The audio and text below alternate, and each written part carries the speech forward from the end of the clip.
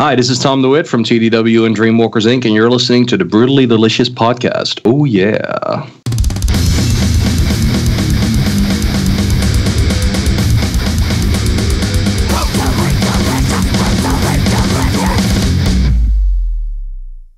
Hey, welcome to the Brutally Delicious podcast. I'm Bruce. Oh, and I am Riina. I was giving Kris the opportunity. You can tell it's the end of the day. I don't think I'm doing the so- uh, show solo now. For all of those people that just heard that clink, that's Riina getting wasted while she's doing the podcast. We are a booze friendly podcast. So Yes. so we allow our employees Wow, Riina's an employee now. we don't pay them. It's kind of like slave labor, but Our interns. they're interns. One of the she's perks she's about the only thing that for- keeps this thing going. But you know, One of the perks is our interns are allowed to drink. I'm only safe from sexual harassment because I'm in Finland.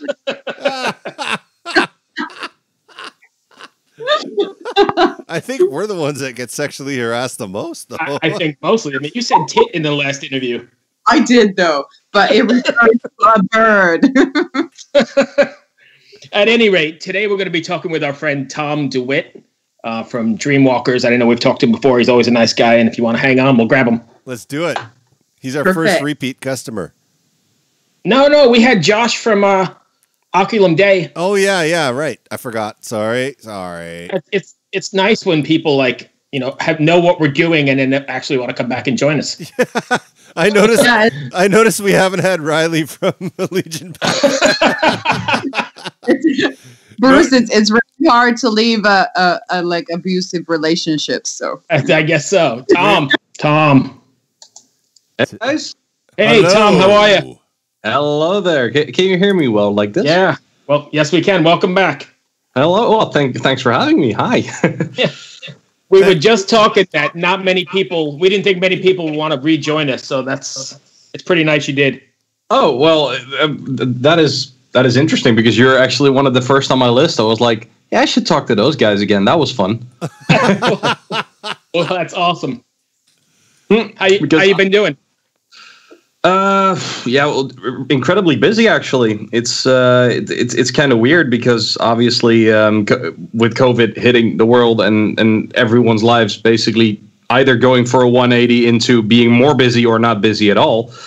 Um, it kind of feels like I kind of have to keep going to you know to actually uh, keep keep myself afloat. But weirdly enough, that is also a blessing in disguise because it kind of you know kind of keeps me sane if you know what i mean because there's so much weird shit going on that i don't have any control over so if i just so if i just work really hard and you know right now with the new album but also just in general then i at least feel some sort of accomplishment at the end of the day like hey at least i did this you know that, that kind of feeling That's awesome. Mm. Kris, you still there? I'm still here. Yeah. Oh. So, what have you been doing in your downtime? Well, I mean, um, it, it's it's kind of weird because um, it's it's actually it's in that sense it's a weird kind of coincidence because at the end of last year, like way before uh, all of COVID hit us, I was actually already working on uh, the live album for Dreamwalkers Inc., which we talked about the other time we talked, you Yeah, know, in early May when yeah. when yeah. So that was like a thing that I was already working on, and I was working on the album that I'm releasing now in December. So in a way, on a musical perspective, I've just been, I, I basically just kept working on that, and I'm of course lucky that I have the studio in my house, so I can just Yeah. yeah so i can i can basically keep working so i just kept going and weirdly enough there's been many situations that there were people telling me like oh man i cannot do anything i'm, I'm creatively stunted or i'm just not able to you know to record something properly and this is one of the few times that I actually felt like okay i am very lucky for having this you know there, there there's a lot of downsides to being your own boss at times but yeah that that actually kind of saved me during this whole weird covid situation That's pretty fantastic. Riina, you mm-hmm. back? Hi. Yes. Hey, I'm doing Tom. Last time, Tom. Last time you were here, we didn't have Riina with us, but we've got a we've added another partner. Riina, Oh, meet Tom. Hi, Tom. Nice to meet you. Hi, Riina. Nice to meet you too. Hi. it's uh, There's no weird pick from Finland on this podcast too. oh, awesome. Okay, yeah. It's uh, the- it's it's all in that sense. Skype is magical, right? Like just being able to connect to everyone. That is really cool. At least I think so. Absolutely. And I just love how I ended up on this podcast. Like these guys did an interview with with me for my band's album release and it went completely off the rails. and And- and we- uh, One of us made a comment. We should have her on as a guest as a guest host, and she's like, "Yeah, sure." And then we can't get rid of her now. Right now, No. she's trying to take over. no, I'm here now. We but you want to hear something cool? We just made a new company policy. Are you ready for this? Okay, sure. bring it. It- People Hit are me. allowed to drink while they're on the podcast. That is, uh, as, especially in these trying times, that is a policy I can get behind. Definitely. Yeah.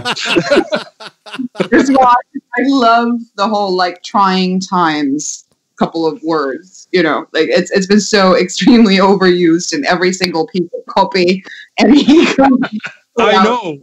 Well, trying times. Also unprecedented. Actually, uh, t- to be fair, I'm just literally referencing "It's Always Sunny in Philadelphia." You know, like, do you want an egg in these trying times? You know, that, that that's what I'm aiming for here in this case. Just a very bad reference. love that show, by the way. So, are you keeping the direction for this new record that you're going to be releasing the same, or have you changed it anyway? What? How did you approach trying to keep it fresh? Um, well, in a way, it's like um, because because obviously with Dreamwalkers Inc., that's more of a band thing, even though that started out, you know, from my own project. But that has kind of become its own thing, and this is very much a TDW record, so it's very much a Oh, person. So this, this is like a solo record. It's not a Dreamwalkers Inc. thing. Um, and in this case, the reason why it's really different is because I'm basically now making a solo album about the most personal thing I've ever been through, and I've put that to music and um, that like it's a concept record about what happened to me 11 years ago. And uh, I mean, by now I'm not secretive about this anymore, but I'll just throw it out there. I have been in. Um, I've had quite a heavy bowel disease when I was uh, 19 years old, and I, I fought and struggled with that until I was 22.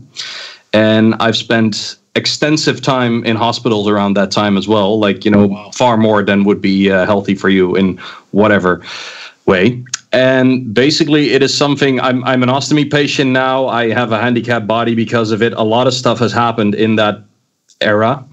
And basically, what I did now, after 11 years of not really talking about this, and like, like I wasn't really hiding it as much that I just didn't feel like talking about it in music or in general because I kind of felt like uh, I, I don't know. I, I wasn't ready. I guess I, I just wasn't ready to to openly speak about the fact, like, yeah, you know, I'm handicapped. Right. It, it- this is real. This is this is a thing now, you know, and it has been a thing obviously for all my life, but I just wasn't ready. And now I felt I was ready, and the album basically is what it was like to be a 19 year old, uh, well, kid basically, and suddenly being confronted with a body that just shuts down on you, and you know what happens when you almost die. You know what what happens to to the way you perceive life and all the things that follow into it.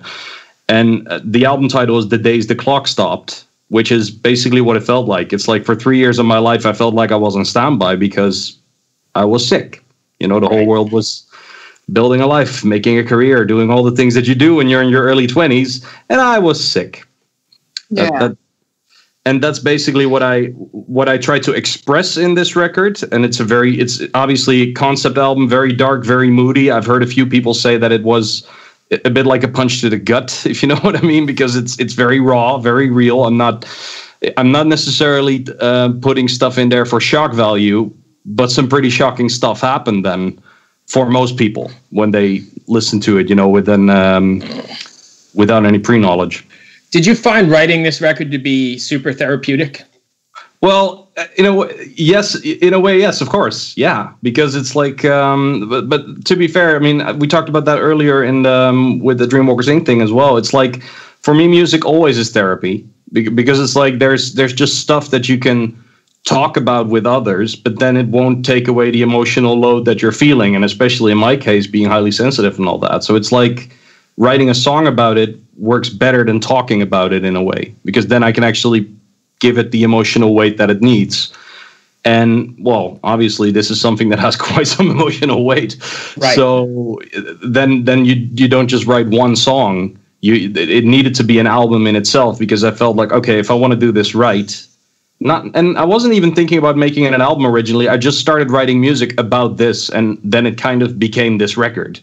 And then it was like, oh, Oh, oh, okay. Oh, this is an album now. Okay, right. because originally right. I wasn't even sure what it was going to be. wasn't even sure if I was going to release it. You know, you know what I find really interesting about this, and I'm not trying to generalize or anything, but this is about what the third or fourth interview we've had today, where mm-hmm. COVID has kind of forced people to look inward a lot more. Yes, and and to kind of tackle demons because they were forced to. Do you? Yeah, yeah, I, I can see what you mean. Sorry, sorry to interrupt you on no, that. I can see what you mean. Um, but I do have to put, well, like I said, I have to put one pin in that. Is that I was actually already working on this album in 2017. Like I've literally been working on this for the last few years, and I do think in my case it's like COVID helped because I was here anyway. so I might as well, you know, fin- finish the record and, and and make it happen. You know, so but it was more. I, I think I get it though. Like I think it's a very valid observation you're making there. But in my case, it's like this was already bubbling underneath the surface and it was already happening. It's just that, yeah, because obviously all the work that I originally had kind of fell through in March. And uh, when the lockdown happened here in the Netherlands, you know, whenever things started out here, right? And and I just kind of knew that okay, I'm already working on this album, and by that point, I already had the album done for about seventy percent. So when we were working on the Dreamwalkers record, I already felt like okay, I might as well just finish the solo album now as well because the, if if there's any time, this this kind of feels like it's a sign. You know what I mean? It's like okay, now you're you're giving this time to finish this record. Okay, then you should do it now. You know, so that that's kind of how that went but I, I, do think the the in, the introspective side of it, like finding um, finding the inner motivation to make this record, I think that actually already happened in 2017. But I just didn't have the balls to instantly chase it, so to speak, because, because, it was just so daunting. You know, it's like okay, I'm going to talk about the thing that I'm scared of the most. That's uh, right. Uh, not scary at all. You know, I, I think you should give communication classes. I don't know, man. I, I want to know, like you mentioned, that you're highly sensitive, as am I. So, like, do, at least for me, the whole like being highly sensitive means that that you take on and and like um, take in a lot more information than the average person does, which means that you will have to sort of um, regroup also a lot more and and re oh, yeah. like it just absolutely that, that time of rebooting for yourself. So now that it's been COVID, do you think you've had just like more energy to concentrate on the music because you don't have to concentrate on just getting back to a normal level after being in a crowd, for instance?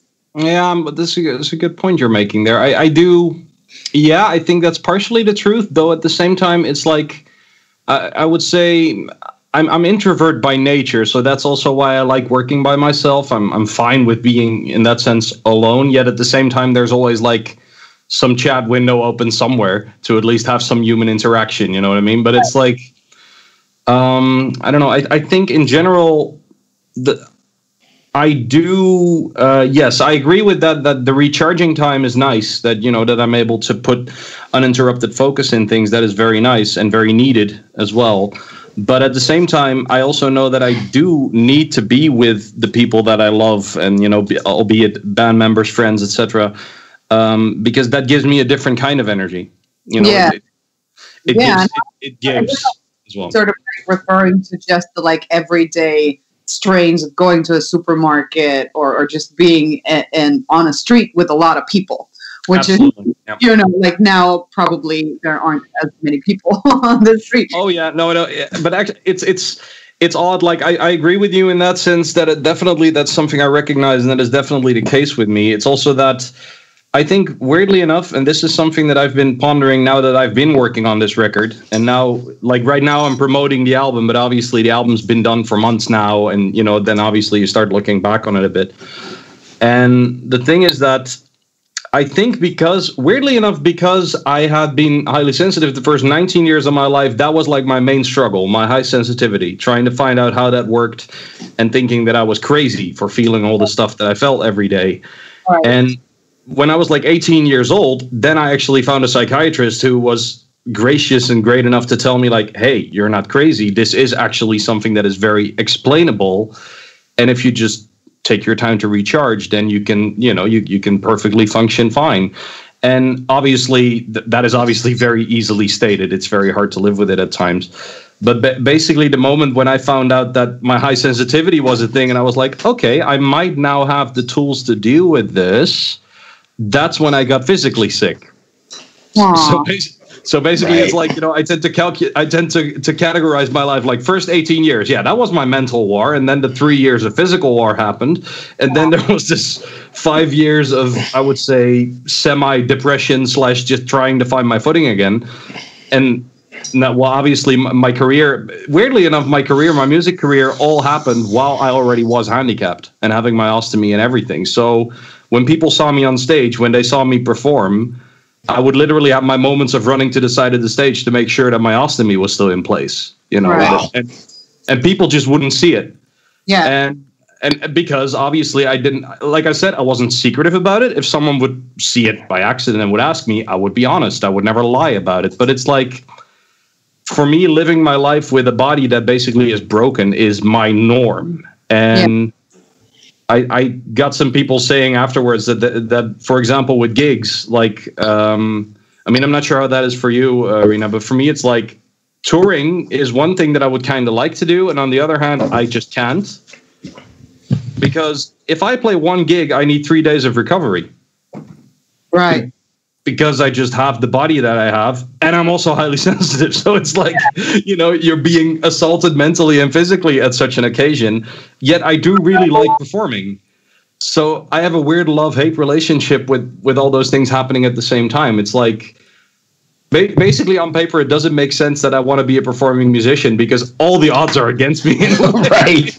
I know, but I, I applaud you for like overcoming all those struggles and doing it anyways because that's that's the thing like you know like I, I deal with depression anxiety all those like you know social awkwardness social fears you know all, all these sort of things that you know come in the way and then you just have to fucking plow through and do it anyways and i think like as musicians as as people who have a compelling need to create something yeah. we don't really have a choice because like if we do not do those things no matter how hard they are we will just shrivel up and die basically i think. Absolutely. Absolutely. It, it's it's like um, the need to I wouldn't say project because that is that is a more negative term, but but I do think that the need to put those emotions that you can't really use anywhere else into something that is actually constructive is I think a lot of people have that. It's you know one of the biggest misconceptions with high sensitivity. I can imagine that it sounds a bit like like oh look at him being special or whatever. It's like high sensitivity doesn't mean that your brain works differently. It's just that your filter is broken. You know, it's like most people probably subconsciously go through the same things that we see. They notice the same things, but they're just able to say, you know what, I'm not feeling this now. that that's that's ba- that's how I tend to see it. And that. Like I read the Elaine Aron, who's done like all the research and, and written books on the highly sensitive person, and she mm. does say that it is a, a brain functioning differently. That it's actually found in animals as well. That you know that you will have in a pack of deers, there will be a couple um, highly sensitive deers, and and they will then like you know their brain does collect more information than the other deers or the other people's in our cases. So I think there is like you know some sort of different brain function going on but i've never yeah, exactly but it's like you can you can see that in two ways. It's like i don't i i prefer to think of it like um, because for years for example i always thought okay so i'm apparently crazy because i'm feeling all this stuff that no one else is feeling and i'm you know my brain is giving me a hard time so the first thing that you tend to do is internalize and it's like oh i'm crazy then. And the fact that someone actually told me like no you're not. Like like it makes sense. It's it's annoying and and you know you might have some struggles with it but it does make sense. It's not weird that you're feeling these things. Yeah. that helped so much. Completely. Yeah i know. I, I only found out about this thing uh, as as well. Like after I had already been in a mental institute, like suicidal, locked up for a month, and and like Yeah. and all of that like has to do with the sense of being crazy. Like there's something wrong with me because I can't handle the world like other people can handle it. You know. Yeah, So- exactly. Yeah. you do blame yourself. And I completely understand the relief that you've gotten when somebody told you that no, no, you just got this trait.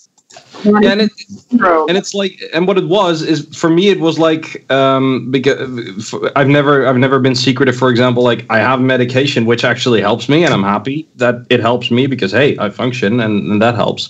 But it's also like i know that there's so ma- so many different types and forms and shapes. You know it's like what works for me doesn't has to mean that it worked for someone else. But i think if to put it back to the uh, to the point that um, that was made earlier about COVID being a you know actually forcing people to look inward. I think that weirdly enough, the one of the blessings of COVID, weirdly enough, is because people had to look inward. There's there will always be people who just don't care, and you know whatever. You, you'll never be able to win those. But I've noticed that there were quite a few people around me who I didn't expect it who actually became more aware of these kind of things, who actually told me, like, hey, you know, because of this whole situation, I'm starting to see how you're feeling. And weirdly enough, it might have brought some people together in a way as well, even though obviously it would have been nice if that happened in a different way as opposed to through to a, to a pandemic. But still, Right. it's like it would have been nice if we had that without the pandemic. That would be great. Yeah. yeah, yeah. So Tom, Mhm. I'm going to interrupt for a second. If people that's want to find find your new material, um, where can they go do the so?